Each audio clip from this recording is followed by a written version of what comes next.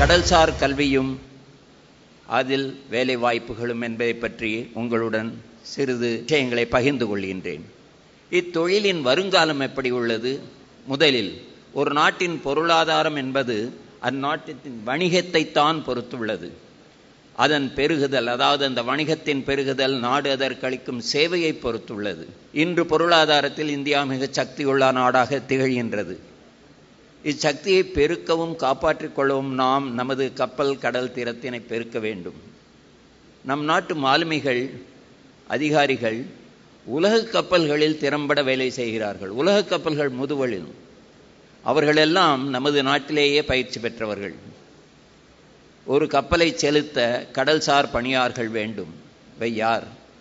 கப்பல் செலுத்துனர் அதாவது நேவிகேட்டர்ஸ் பொறியியல் அதாவது மெரீன் இன்ஜினியர்ஸ் மாலுமி சேவை சீமன்ஷிப் செய்பவர்கள் டெக் ஹேண்ட்ஸ் அண்ட் மற்ற சேவைகள் சர்வீஸ் க்ரூ ஃபார் கேட்டரிங் போன்ற விஷயங்கள். இவற்றிற்கெல்லாம் வேண்டிய கல்லூரிகள் நமது நாட்டில் இப்பொழுது உள்ளன. நான் ஏன் இந்த பணியை தேர்ந்தெடுக்க வேண்டும்? முதலாவதாக இதுவரை அதிகம் அறியப்படாத பகுதி. தனித்திறமை வாய்ந்தது. வெரி ஹைலி ஸ்பெஷலைஸ்ட் இது போன்ற ஸ்பெஷலைசேஷன் எங்கும் கிடையாது. ஆனால் கடுமையான உழைப்பு தேவை.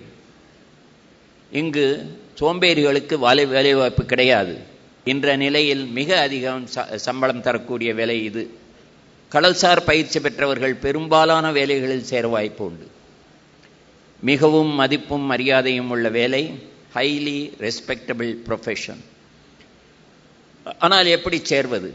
There are courses available in nautical science and marine engineering கோயம்புத்தூரில் கூட ஒரு மெரின் இன்ஜினியரிங் காலேஜ் உள்ளது. Entry level is a pass in ten plus two or an equivalent examination with physics chemistry and mathematics எல்லாவற்றிலும் அறுபது விழுக்காடுக்கு மேல் வாங்கியிருக்க வேண்டும். The candidate should pass a medical fitness test இது மிகவும் முக்கியம். Medical fitness test for sea service under standard norms and with good eyesight eyesight மிக முக்கியமானது. கலர் பிளைண்ட்னஸ் இருக்கக்கூடாது. எந்த மாதிரியான ட்ரைனிங் ஸ்ட்ரீம்ஸ் ஒன்று three year degree course in nautical science for ten plus two students மூன்று வருடங்கள். Four year degree course in marine engineering for ten plus two students nautical science என்பவர்கள் மூன்று வருடம் பயிற்சிக்கு பின்னர் ஒரு வருடம் கப்பலில் சென்ற பிறகுதான் அவர்களுக்கு சர்டிஃபிகேட் கிடைக்கும். ஆனால் மெரின் இன்ஜினியரிங் நான்கு வருட காலம் கல்லூரியிலேயே பயில வேண்டும். டிப்ளமா ஏதாவது இருந்திருந்தால் அதற்கு பின்னல் இரண்டு வருடங்களில் பயிலலாம்.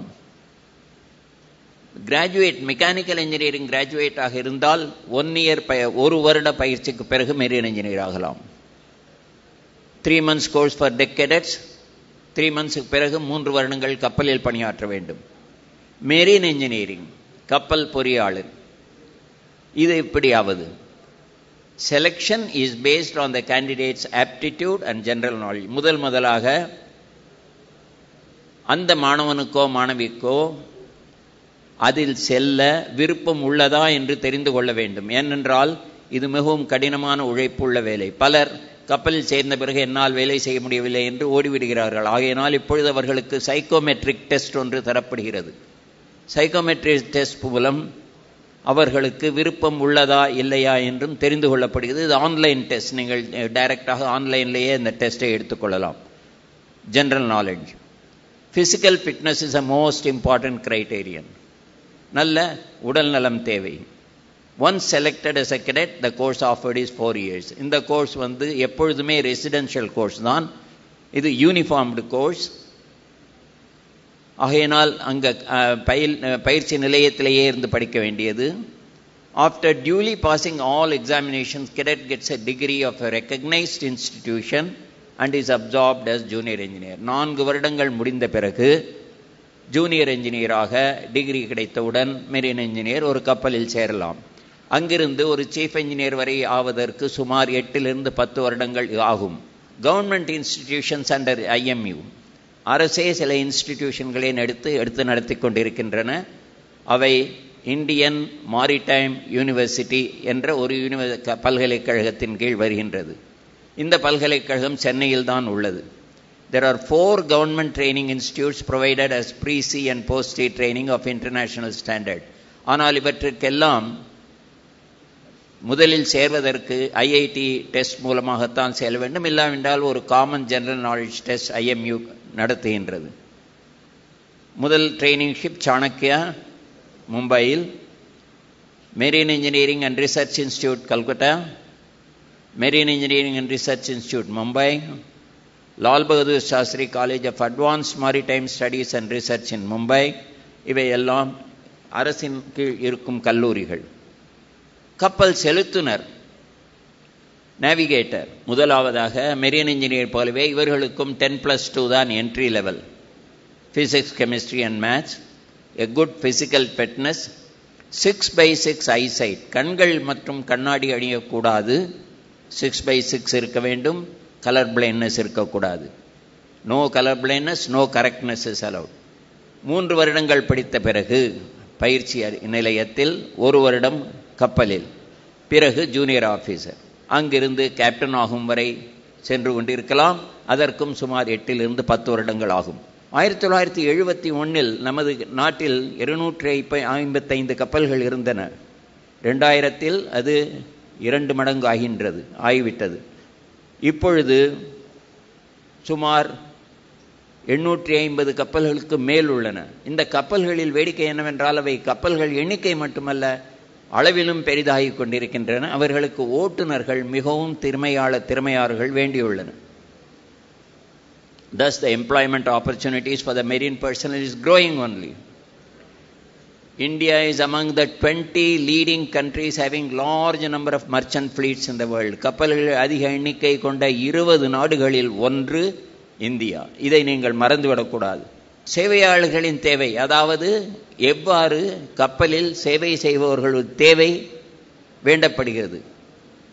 Considerable shortage of man power all over the world Indians play an important role in filling up this void இது மிக முக்கியமான விஷயம். இது இந்தியாவில் மட்டுமல்ல உலகத்தின் எல்லா நாடுகளிலும் உள்ள கப்பல்களிலும் சேவையாளர்கள் தேவைப்படுகிறார்கள். பொறியாளர்கள் கப்பல் ஓட்டுநர்கள் இவர்களெல்லாம் இந்தியாவின் பயிற்சி நிலையங்களிலிருந்து செல்கின்றார்கள்.